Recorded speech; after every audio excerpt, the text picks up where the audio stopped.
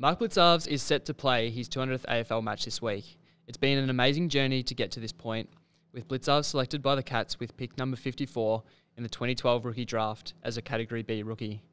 Not even he could have imagined when he made the leap from a career in athletics to football that it could have turned out this way.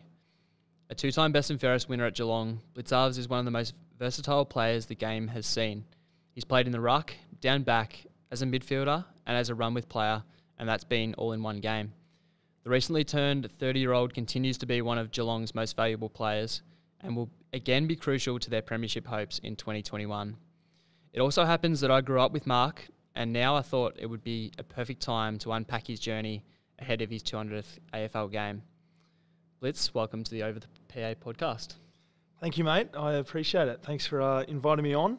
Um, I see here it's called the Milestone Zone. Is that, is that the name? no, that was, that was a work. That was a working title. Oh, that was a working Yeah. title. I like it. The Milestone Zone. Rightio. We're going over the PA, Yeah, so rightio. bit of play on the public announce system. Um, obviously, I work for the AFL Players Association, and um, yeah, so over the PA sort of fits fits nicely. I like that. Thanks for having me.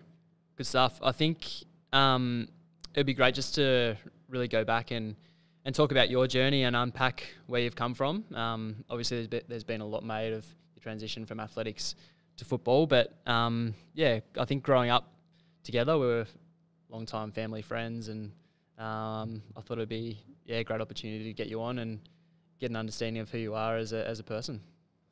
Yeah, no, it's good. Um, geez, where do I begin? Uh, well, yeah, obviously we've been friends for a long time now, whole family. So we're really lucky in that regard that um, I suppose we're all involved in the industry now, and um, obviously me playing with Cam and Zach, and you working with the AFLPA, and um, just we're all involved in sport as general. That's how we became family friends, and um, to know you and Cam before even Zach was born. Um, we've been through a lot, and uh, yeah, I suppose growing up in Sunbury together, we went to school together, played a lot of sport together. Um, yeah, again, very lucky that myself, you, Cam, and all that, we've remained great friends and family friends. And for our parents to sit at the games and, and um, catch up and, and watch their, their sons go out on the field, it's, uh, yeah, it's very, very fortunate we are. Yeah, for sure. Um, just going back to to your background, so um, your mum Karen, your father Andris, Under or, or Andy, as we Andy, yeah. it's probably easier to say. So they both represented Australia Australia in the Olympics in basketball, and I think sport's always been a, a massive part of of your life growing up. Got an older brother, Chris, younger brother, a young, younger brother, younger sister Sarah, who Sarah. um, is representing Australia at the Olympics in basketball now, which is which is an awesome achievement, and it's awesome to see um, see her achieving her dream as well. So, what was that like growing up in in a family that's clearly um, hell bent on high performance? High performance. yeah, yeah. um, yeah, it was good. They they didn't push us into any sport, but they encouraged us to to do sport from a young age, which was um, fantastic. And um, yeah, something that um, again I've mentioned before, but loved and um, opportunities arise from that, and to make great friends and um, yeah, lifelong bonds. So um, yeah, encourage encourage sport from a young young age. I reckon by eight, I'd tried tennis, cricket, indoor cricket, footy, basketball, um, athletics as well, and um, yeah, that was for Sarah and Chris as well. They tried them all, and um, yeah, just just obviously they didn't push us in any sport, but they encouraged us. And then as we got older, then we sort of shifted to a to a sport we preferred. But um, yeah, as you mentioned, Dad went to the '76 Montreal Olympics. Mum made the '84 Los Angeles Olympic squad, but a couple of weeks before she um, hurt her knee.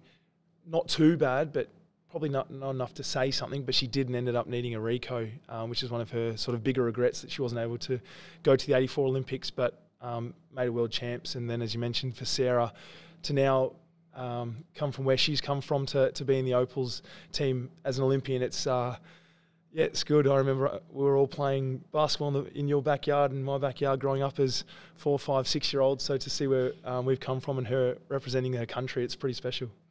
Absolutely, played a, a lot of basketball together. I think we had five premierships, I reckon. Superoos. Yeah, we Back in the did. Yeah, yeah, Junior basketball. that's right. We are well, Love that. the Aussies for indoor cricket as well. Yeah, You were yeah. on leg spin getting tonked for six in indoor cricket. but, yeah. Um, cop that. Yeah, you got that.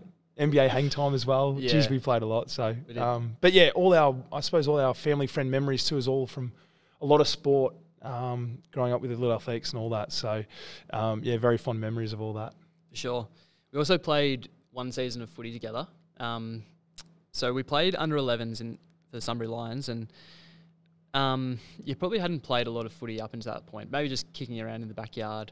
You come out se- um, second in the league, best and fairest as well. So you're obviously really talented as a footballer, but it wasn't your number one passion, was it?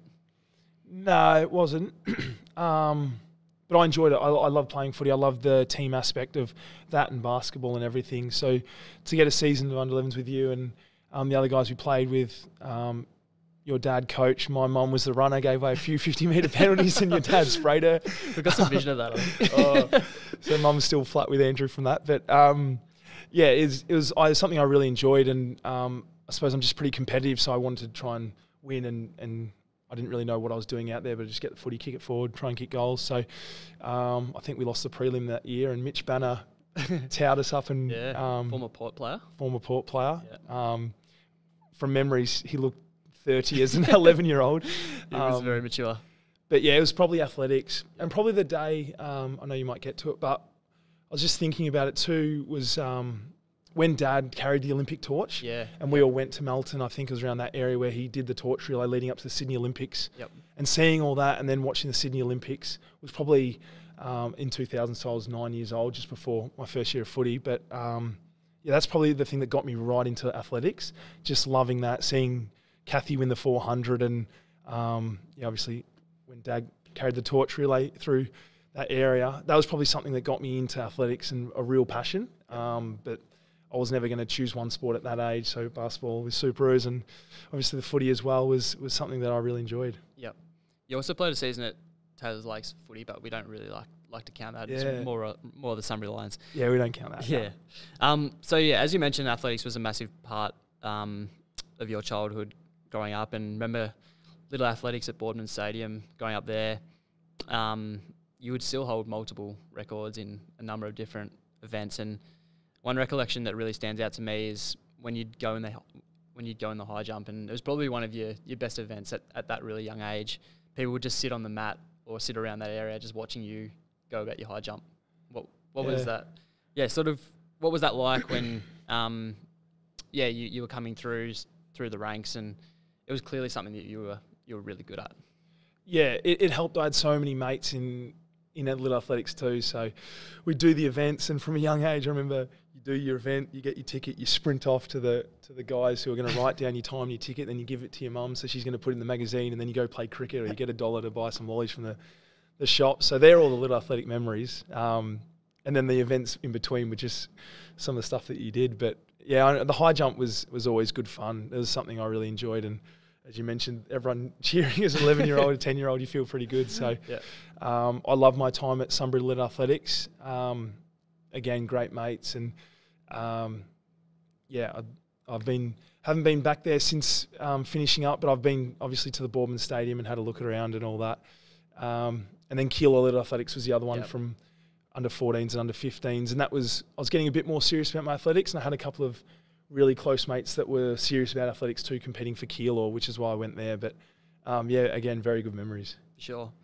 Um, another thing as well, just uh, as we're sort of touching on childhood, remember like so you do a paper paper round, and most people ride and do their paper round where they're when they're delivering newspapers to people's front doors and stuff. You used to run it as a bit of a yeah, conditioning training session. session. Yeah. Yeah, looking back, I can't believe I did that now, but um, yeah, probably year seven was the first job I ever had, paper out, and I just thought, yeah, Emu Bottom, that'd be all right. And Emu Bottom's this little part in Sunbury where it's like pretty hilly. sort of farmland. it's it's hilly and Yeah.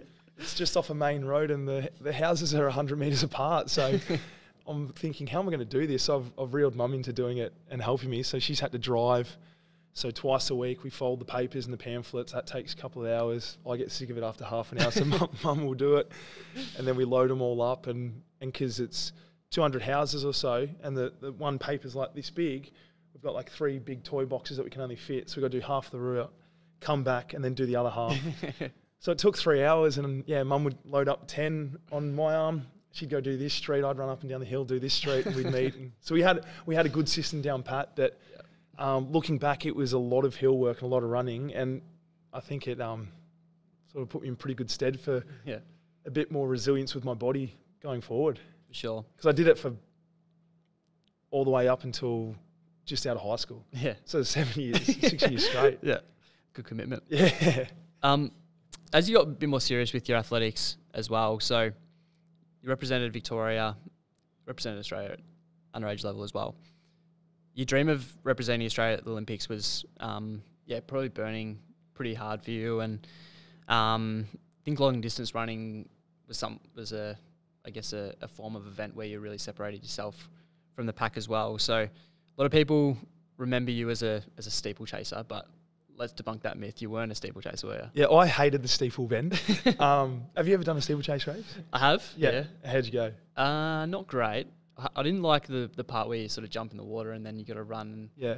and then you you're wet. Yeah, Like, yeah, yeah. It's tough. Yeah, don't wear socks and don't wear Yeah. socks in your shoes. But um, so when the Geelong opportunity came up, I was still I was 20 years of age and still loving my running and and yeah, trying to make it at an elite level. So um, yeah, it's something that probably when I was 16, I decided okay, athletics is for me. That's the one I'm going to finish up with all sports and really go um, and try and make something of it. So. Um, yeah, 19 or 20, I started to have a couple of good performances, and um, yeah, the the Olympic. I wanted to make the Olympics. That was my goal. Has always been my goal growing up. As I mentioned, since seeing Dad carry the torch and the Sydney 2000 Olympics, so I said I'd love to be an Olympian and do that. Um, and obviously, it wasn't to be. But yeah, when the Geelong opportunity arose, they let me continue as well, being signed as a rookie, being paid from the club as a Category B rookie. They let me have that next athletic season to continue, which was really good of them. They didn't have to and they did, and they essentially funded all my trips because it's a pretty amateur sport at the level I was athletics. So they were funding my trips. Got a couple of free flights and accommodation, but everything else that went with it all was pretty much paid from Geelong Football Club to get me to these events. And um, yeah, it was it wasn't to be, um, but. I did a couple of steeplechase races, which I didn't enjoy and I wasn't very good at. and 1500 was always my favourite event. So, um, yeah, again, as a 20 year old, that season I had a pretty good season, ran a few um, bigger PBs. My- I ended up running 343 for the 1500, which, um, yeah, I, w- I was wrapped with. But again, uh, probably 336, 337 is qualifying you for the team. Yep. So I'm six or seven seconds, which is 50 or so metres off Mhm. the qualifying. And then to actually compete at the Olympics, the, the Jets, there's 15 of them running Yep. 330. Mhm.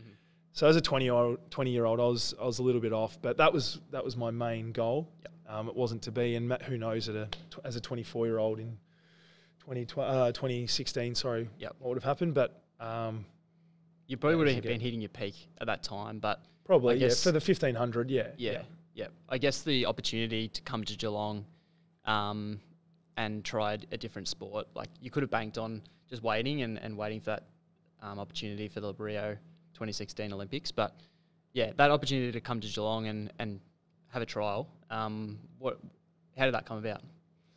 Um, so I'm I'm constantly I'm still training hard with athletics. Yep. Um, Cam's just been drafted, so your brother Cameron went got drafted in the 2010 draft. 2011 was his first year. Yep. And so um, Andrew Guthrie, being my under 11 Sunbury uh, Lions coach, um, as he says it, coached me. And um, I think he'd always mentioned throughout like school and all that that if you ever want to think about footy and all that, and I think it helped that I had a bit of endurance background with middle distance running, and I was six foot five, six foot six. Um, that potentially could maybe turn me into a footballer. So he would, I think he hounded Wellsy and the recruiters for a little bit. Um, and I remember they called in April of 2011, and I said thanks, but no thanks. Yep. Not that, not that rude, but like Yeah. I just was set on athletics Yeah. and I loved it. And then I think they mentioned it again to Andrew, and then they called again in sort of August, September. Um, and I'd always want to do the, the next season for athletics, but um, I just thought I'll come down for a trial. What's the harm? Like I've got a day off. Um, be cool to see the facilities and maybe meet a Cats player. I was a Carlton fan at the time, but maybe meet a Cats player. But um, so they got me in the off season though. So they just won the flag and they were all overseas, um, wherever they were in their off season trip. So um, it was probably October of 2011. Mhm. Came down um, and just did some kicking with uh, Paul Hood, I think Troy Selwood was there, who was captaining the VFL at the time, and a few others, and and yeah, just did some kicks and all that. But essentially, it was because of your dad that got me the trial, um, and then yeah, I ended up meeting Wellsy and Bar- Neil Balme at the time there, and um, they said they're pretty keen to have a chat to my parents, see where they, what they're thinking too, and um, yeah, again, I had no idea what I was doing. I was just kicking a couple of footballs, and Yep. um, we'd done a few training sessions together indoor Yeah. at the Barstool Stadium leading up, just to make sure my ball dropped. Yeah, Which I might need you to just show me a couple from the we'll go out after the weekend's game. Yeah. um, and then probably a couple of weeks later, when I said, "Oh, what what changed me was seeing the stadium and the facilities and the opportunity of potentially um, joining a team sport from an individual athletics is quite individual. You've got your training group, but the team sport aspect was something that I'd be really keen to explore. Um, and then a couple of weeks later, I said to mum and dad, "Oh, can you guys be home at sort of this time? I think." Um, st- the recruiters coming to have a chat to you just about to Geelong, and they're like, "Oh yeah," what Dad was said. He's like, "Oh yeah, whatever." Like yeah, they're going to come talk to us. That'd be good. yeah, And then three, four territories rock up, and it's Scotty, Neil Balme, and Stephen Wells all at our front lawn in Sunbury. And Dad's like, "Oh, yeah. geez, this might be a bit more serious." serious than we thought." Yeah. So it just sort of spiraled from there, and Yep. obviously the negotiations and allow them allowing me to continue my running for the next season. I was just yeah forever in their debt. It was something that I was um, yeah very fortunate position to be involved in. Yeah, at the time, the Category B rookies system was sort of coming in, and um, I guess the opportunity to to get someone on, on your list from another sport um, sort of came about. So I guess that that was that was the um, the big selling point for for Geelong with someone like you who probably hadn't played footy for six years or, or whatever, and um, the opportunity to get you across and really um, capitalize on on your athletic attributes, and I think it's yeah obviously obviously paid off in dividends. Um, so your first preseason at at the club, um, and that was after you, you'd finished your obviously your athletics career. So you, you played one VFL game, didn't you, as well against Um, Essendon? Was that here? Yeah, that was so. So I got drafted into 2011. Yep. And then kept doing the athletics, and then um, was overseas. Wellsy called me a few times, didn't qualify, and then uh, start of July was my first Yep. uh, week at the club, Mhm. 2012. Um, did a mini preseason for July, four weeks preseason, um, and then played four VFL games. Yep. And then Niders dropped me for finals. I'll never forgive you, Nida. Yeah. and they won the flag that year, the VFL team. So. Yeah, yeah. And, and the next year you come in, and I think at, that, at the time there was a few injuries to um, a number of the different sort of senior listed ruckmen. So Trent West, Nathan Vardy, and Hamish McIntosh were all injured, and there's this beanpole at 198 centimeters who weighs 75 kilos maybe at that time. Yeah. All of a sudden you're playing ruck against Sam Jacobs and Aaron Sandilands. Yeah. Um, were, were you ready for that? Um, no, not at all. Now looking back, no, I wasn't. But I was, I was pretty keen to prove myself. When I made that decision to go from athletics to football, I sort of thought to myself, "There's no turning back. This has to work. There's, if this doesn't work, I'm not going back to athletics. This has to work." So that was my attitude. So I just made sure I did everything I could to try and be as ready as possible. Um, and yeah, you say leave no stone unturned, but um, and just to prove I suppose, to myself that I could do it, and everyone else who thought probably I can't do it. Just wanted to prove I like proving people wrong. Um, so yeah, that preseason I I ticked off everything in preseason. I got through injury free, and I must have done a few things right in match play because I was, again, very fortunate. There's unfortunately for them they had injuries, but that's how opportunities start, and you got to take them. I don't think any player's ever really ready um, to play their first game, um, and then you sort of just think what you're doing. But um, yeah, got a couple of preseason games. Um, I think down here against Adelaide and Collingwood, and my first one was in Freo against Aaron Sandilands, and I'm thinking this guy is huge. He's wearing these massive baseball shoes, and I'm like, what am I doing in the ruck? But again, the the, um, the instruction was to run, run, run all day, and just try and nullify any of his hits that he could. Yeah. Um, and yeah, to play round one against Hawthorn Easter Monday, I didn't know how big that was leading up to it. You sort of know a little bit about it, but looking back now, having played a few Easter Mondays, it's amazing. I'm very fortunate that that was my first game. And again, Jordan Lewis, at, they were five goals up, Hawks at half time. Jordan Lewis comes up to me and he's like, half time, he's like, what are you doing out here, mate? and I agree. I smile and agree. And I'm like, I have no idea. but we ended up coming back and winning the game, which is good. So, Yeah. um, yeah, unfortunately they were injured, but fortunately enough, that gave me the opportunity. And Yep. because they had substantial injuries, the coaches said, doesn't matter how you go, you're, you're in for a month, you're in for six weeks, guaranteed. Just enjoy your football and try and improve. And um, yeah, the, that was um, a great opportunity. And the fact that I was able to stay injury free and put games together is, I think, is what helped the improvement as well. Yeah, I guess your ability to play ruck, your ability to play as a defensive mid. Um, at that stage, you're probably running six, 17, 16, 17 Ks for five touches. um, Your brother likes to get Zach Guthrie likes to get after me actually with Yeah. this. We played round four in my first season. We played North Melbourne, I think, and I ran 16 and a half k for four touches, and one of those touches I kicked into Todd Goldstein, the man of the mark, and so he gives it to me four 4.1 k per touch. I was running. yeah. So the, the next logical question is, how did your understanding of the game evolve, and what did you have to do to um, improve yourself in that area? Yeah. Um, yeah, I just tried to fast track myself. So I, I'd um, constantly watching edits, asking questions, um, yeah, making mistakes, and then trying to learn from that. So that was probably the the attitude I took that I just wanted to continue to improve. And um, because I was playing my first year, um, and the other ruckmen are quite injured, I'm I'm thinking to myself, well, as soon as they're back, I'm out of the team, so I need to improve and I need to improve. So that was sort of the mindset going into it. Um, and I suppose from that athletics background and running middle distance races in the pre-season, uh, I sort of I think I think it is a skill. I, I sort of was able to push myself in in the running, and um, when you're fatigued in games late in quarters, uh, you learn to be able to push yourself. So I think that was one of my strengths first coming into the into the um, game, and I remember Maxi Rooke uh, telling me, "You're never going to be as sore as you are." Sorry, you're never going to feel as good as you do day one Mhm. in your first day of career. So just get used to all the knocks and stuff. And that was the other thing. Um, I sort of need to adapt, put on weight. Because as you mentioned, I came to the club as about 80 kilos, so I'm about 102 now. So I've had to put on a bit. Um, but I'd get a corky in my first session or first week of training, and I'd be out for two weeks because I just hadn't used to getting hit. So um, that was the other thing, trying to harden the body up and, and learn to take hits and, and hit people yourself with tackles and bumps. So Yep. um, And the running, that was the running patterns as well.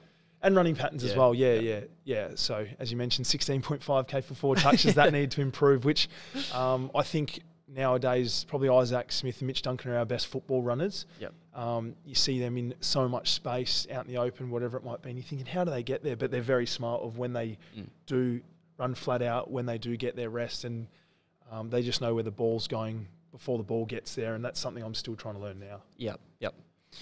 Um, winning the best and fairest in 2015. Um, so how many years is that? So three years after, four years after you got to the club, Yeah, yeah. or when you yeah. first, So I first debuted started? round one, 2013. Yep. So 2015, three seasons. Three seasons, yep. So, how did you get from that player who was getting four touches for 17 Ks to a player who's winning the best and fairest? Yeah, I don't know. um, the third man up rule. Yeah, Help- that was a still in- wasn't it? Yeah. That was good. So we sort of had a plan with that too, that third man up rule where um, I think the coaches, I, I'd had a consistent three years. I'd played um, 13 and 14 season were back to back 20, 20 plus games. Um, and I sort of hadn't missed a training session through injury. So that was one thing that I think really helped me um, because of the consistent I'd played 40 or so games back to back and hadn't missed a training session. That was helped with my improvement. And then 2015 played a bit as a ruck, and they thought, oh, okay, well let's from the ruck, then can you potentially hover in the midfield and go third man up? And if you're going to be in the midfield, you're not going to be go to because you're not a genuine midfielder like the Yep. Joel Selwood type. Yep. So we won't hit the ball to you, but you could ruck that too. So why don't you try and shut out a best one of their better players? And you do that by rucking and hitting to Joel yourself or hitting to yourself. So that the actual third man out rule did help. We hung around and I suppose we tried not to exploit it, but Yeah. we used it a lot. And so it. so Sandy's trying to deal with our ruckman, and then there's someone getting a free run and jump and getting a hit out. So that that's that helped a lot. It kept me around the ball, and you get some clearances and all that. But um, yeah, again, it was probably just my attitude that um, I was trying to learn a lot off Harry to just um, you just to play desperate and um, play with a bit of mongrel in you. So um, I sort of focused on just um, getting to as many contests as I could in that 2015 season and laying as many tackles. And um, yeah, I think that's probably been my highest tackle season was that 2015 season being around the ball and um, I think when you're doing those fundamentals right, then you, you do get rewarded with, with touches or goals or, or whatever else. So, um, from a club point of view, that's been the worst season. We didn't make finals, and um, so from a club performance point of view, it was, it was really disappointing. But um, to have influence as a young player, um, it gave me something to build on for the future seasons. Yeah, I think the value of you as a player, and, and we'll get to moving into the back line, and obviously now you're, you're playing everywhere. But um, the value of you as a player is that ability to play in multiple positions. Um, your defensive running as well. So like you would play on the wing and you'd be first back. That, that's something that you would pride yourself on. Um, yeah, how, how are you able to switch your mentality from playing as a key back to a wingman to a midfielder to a ruckman?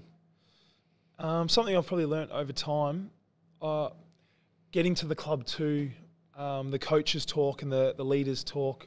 We're, we're a defence first club. We value defence. So we're going to get plenty of opportunity to score, but let's defend first. So that was always my attitude. Whatever position I play, wing, obviously as a defender or, or ruck, that um, if I can't get involved in attack, which is quite often, um, I'm going to set up defence. So that was a big focus for me too was my strength in defending and communicating and trying to help the team set up defence. So um, that was probably the fundamental of all the positions I've played is I'm going to help defence first, and then over time, if I'm playing as a winger or a ruck, I'm trying to then work out if I can attack and get in positions to to help.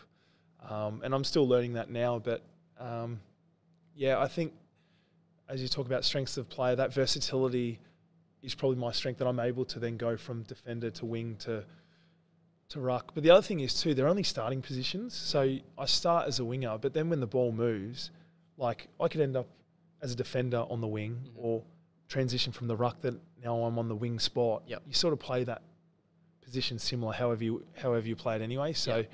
um, yeah, I think the less I think about what position I'm playing and just play football, your mind's a bit clearer and the performance goes a bit better. Yeah.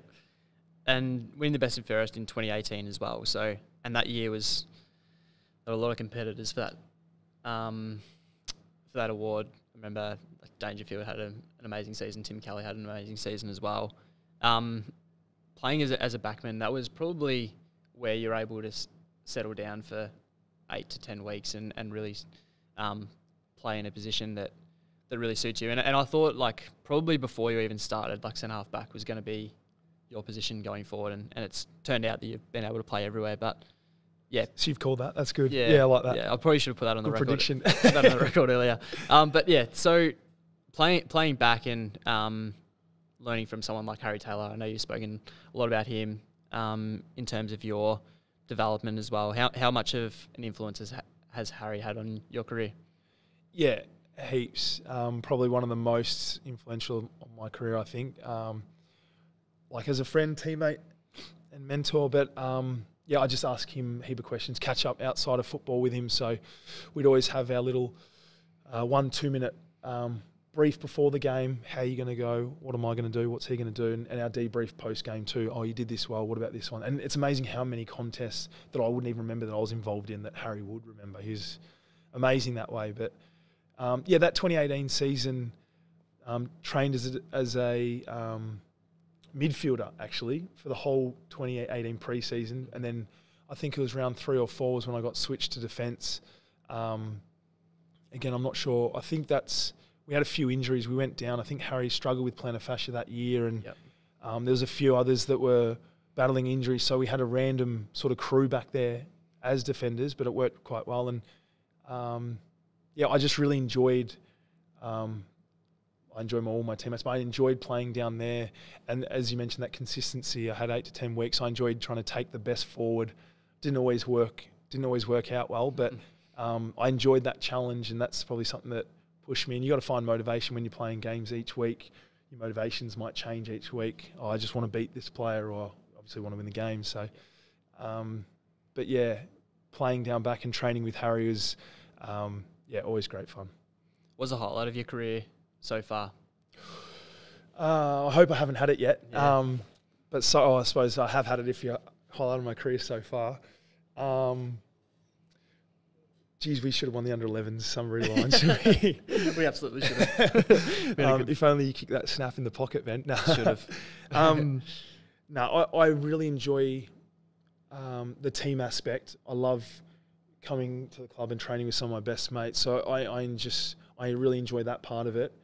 Um, but playing in milestone games, playing finals at the G in front of eighty or ninety thousand, sort of win or loss, it's pretty surreal. Yep. And probably haven't you don't look at it now, but looking back on my career, getting to say I played in front of ninety thousand people at the G, that's something pretty special. Um, Yep.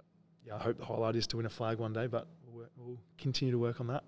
Did you think when you were a 15 year old and athletics was your dream, um, e- even when you first sort of started at Geelong, did you think that that was going to be possible? That you'd be playing 200 games, playing in multiple finals, and a dual best and fairest winner? Um, no, no. At 15, I wouldn't. I didn't even think about footy. Yeah. Um, and then when I got to the club, um, yeah, I, I thought about the team and I wanted to win a flag. That was what I want to do. That's what I still want to do. Um, I didn't even think about any of the individual accolades. So, um, but yeah, to play 200, it's um, again. I'll, I think I'll look back on it as something I'm really happy with. But right now, we've got a job to do this season. So. Um, I say it will be another game for me, but I'll probably have 20 mates in the crowd that I'll Yeah. hopefully get to wave to after a win, um, which would be something pretty special. So yeah, it's good. I've had some really good mates and um, family come to a lot of the games, and um, that's pretty special too. But um, yeah, hopefully there's a few more games to go to. Yeah we've been really footy focused, but let's take a shift away from that Yep. and go a little bit more off field. So Yep. you've done a lot of travelling, um, even during your footy career, and um, you've been to America, you've been to Everest, Mount Everest Base Camp. Um, how, how do you get that time off in the, in the off I, season? I'm- I missed the Europe trip with you, Fish and Cam, which I've heard some great stories, Ben. Um, uh, I really enjoy it. We're so fortunate. Um, if you want to be honest, we, we get we get paid well, and we get two months off. Yep. Every year, and we know that. So we're so lucky. So, um, I I like to try and travel. I really enjoy it. So I want to travel as much as we can, and I've been on some great holidays. Um, as you mentioned, through all those things, we did Oktoberfest together, which was a uh, bit of a whirlwind couple of days. But um, yeah, so you get some really great, amazing opportunities for in the industry we are in. But probably my best trip, as you touched on, was the Everest Base Camp trip. So um, Cam Erdley, who played in, uh, he played for the Geelong Cats in 2012 and 2013 was my draft year. Um, one of my really good mates. Um, yeah, his brother passed away uh, through suicide four or five years ago. Where and then the um, Kai Erdley. So the Kai Fella Foundation was created by Cam and um, his mum and their family. So we did the base camp trip, one for a holiday, two for a challenge, but three mainly to try and raise money money for for mental health and um, yeah to, to help with that and to raise it for the Kai Fella Foundation, which is doing great things over in WA. So um, I think we're able to raise six and a half grand. I did the trip with three of my best schoolmates, um, which is an amazing opportunity and something.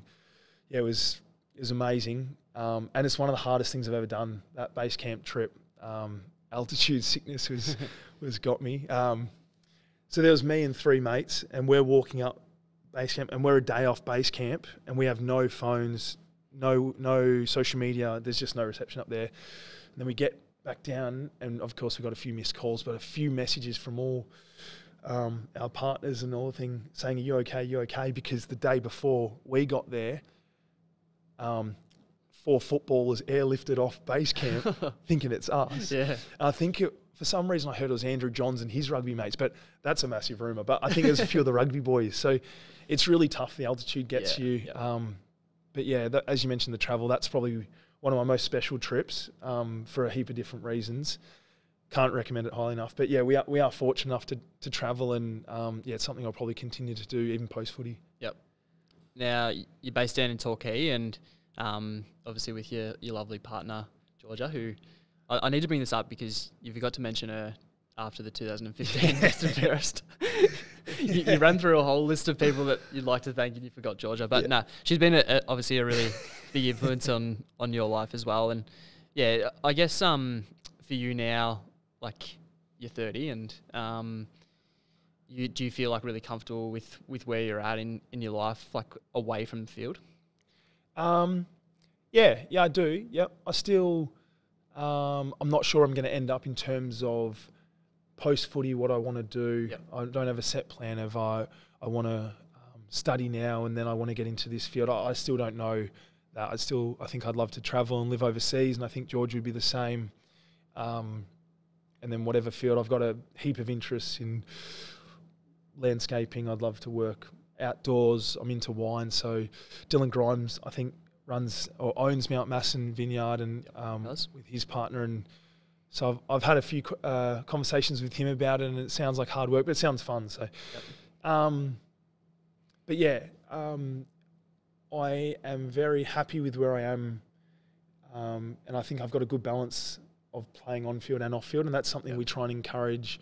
Mark Worthington's our PDM and does a great job. That you just want to encourage everyone to have something other than football because it won't last forever. Um, and I feel like I've got a good balance of um, off field, on field um, stuff going on, which I think helps performance as well. So yep. um, to answer your question, yeah, I'm, yeah, it's good. Yeah. You're probably one of the most competitive person that I've met. Um, so whether it's table tennis, NBA, and Premier, NBA. Premier League fantasy, NBA hang time, um, quizzes as well. So you really Yeah. take pride in being like the quiz master, Yeah, yeah, don't yeah. you? Yeah, so the Quizmaster, which is taken off at the club actually Yeah. now. So Cam, myself, Josh Cowan used to play with the club, Benny when he's at coffees with us. So we always just do the quiz in the paper, which is good. So, um, yeah, I love it. I think it's good. I think it helps with your general knowledge, and maybe I'm a bit of a control freak, so I like to just ask the questions um, rather than answer them. Um, but yeah, especially if you're asking the questions and it's me versus Cam, I'm yeah super competitive, which you got to be because you you're trying to win games of football and Yep. when the game's on the line, super competitive people are the ones that probably stand up and you see danger. He makes things happen. It's it's not by fluke. It's because he's worked hard and he hates losing. So, um, I'm the same. I hate losing footy, but I hate losing table tennis. Hate losing the quiz. Just everything. So, Yeah. um, which is probably a bit obnoxious at times, but um, got me through with my brother. A lot of NBA hang time wins against you and Cam yeah. growing up. Uh, good memories, good memories. Um, and the the number forty six. So, I guess when you first came to the club, number forty six was the only one available, wasn't it? Um, I was 48. oh yeah, oh yeah, you were too. when I first got it. So um, Joffa Simpkins 46, Ryan Bathy 47, and then after my two months of being there, that 2012 season, then they cut the list down to 46. Um, Bath went to did Bath go to 42, and Joff went to Hawthorn. yeah, yep. So I just got given 46, um, and then lucky enough to play my first game Yep. in 46. And there's not that much history with the 46 number at Geelong, so I've really wanted to make, I suppose, make that my own. And Mm-hmm. um, yeah, it's cool to, it's a, it's an amazing feeling to see a kid in the stands wear the number 46. There's not many, but um, I, I always said I was going to keep it. I sort of had a really good think about it when Harry retired. Um, I spoke to George Horlin-Smith about it a little bit. I didn't. I didn't call Harry. I was going to call him if I wanted it, um, to ask him his permission. But that was the only one I was probably thinking of changing. Was last season when Harry finished up um, to go number seven. Um, and I decided against it for whatever reasons. But um, yeah, so I hope to stay in 46 my whole career, and um, yeah, it's yeah, it's Make been, your own legacy. yeah, it's been good. Yep. Now, last couple. Um, you're a massive cycling fan, and you love your coffee, even though you can't make it. Yes. You've just got a new coffee machine. Um, you liked my coffee the other day. Far out, yeah, right? was, jo- It's I a lie. I was joking. um, yeah, so I guess where does that come from? And I think you've always had that um, that approach that it's important to ma- maintain fitness away from from footy and even in the off season and stuff like that. You, you make sure you train pretty hard. Yeah, yeah. I, I've I don't know. Just I enjoyed sport in general as a kid. So I, I got into the Tour de France. So I, I really like the cycling um, from a young from a young age, and, and now with the off season stuff, um, Sammy Menegola is massive into the riding. So Shout out Pedal Mafia. shout out Pedal Mafia, Jay Barron, you're doing a great job, mate. um, so yeah, about five years ago or something, I, I I I got a bike before footy, but I then got a a better bike Yep. that I, one that I'm probably going to keep for a long time and and try and knock some K's in, into it. So um, yeah, that's always been fun and um, to try and do some rides in the off season. And then um, since Men has got me into it, and then we've got a few others, and Cam's loving it, you're loving it now. So it's good. We've got a little good little crew, and um, some days it's 100k rides where if you've got whatever a week or two off, or in the off season where you're trying to push yourself, but recovery rides are the best. It's 30k's cruising with three coffees in between. So we're just these cycling wankers that sit in cafes and lycra, and I love it. Do the quiz. So um, Yeah. yeah, it's just fun. It's and as you mentioned, the sports and off season keeping fit. Um, I try and do a few things other than football in the off season to keep me loving football. So whether that's running, um, playing a bit of soccer, cycling, going for hikes, bushwalks, whatever it might be. Um, I think all that different stuff is is very beneficial. Yeah. Um, congratulations on your 200th game, mate. Thank you, mate. It's um you. amazing achievement. I think playing in, in the under 11s with you, you could see the talent, but um, you're obviously never really interested in footy. But it was um, it's great from my point of view that you're able to to make it and make a, a really good career. So congratulations on the 200th game, and hopefully I'm there in the stands cheering you on. Yeah, Benny. Yeah, is thanks very much, mate. I'm uh, I'm very much looking forward to it, and um, yeah, not sure about crowds yet, but I hope there is, and can wave to my mum and dad and family and friends. It's I think it'd be something really special. So thanks very much.